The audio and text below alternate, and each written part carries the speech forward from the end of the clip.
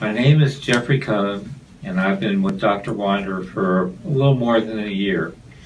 And when I got started, uh, my readings were A1C, it was 11.5. Now it's 5.9 after about a year. Cholesterol uh, was at the beginning 297, and now it's 196 and the triglycerides, uh, it was 180, now it's down to 60. And uh, very appreciative of all the help I've received here.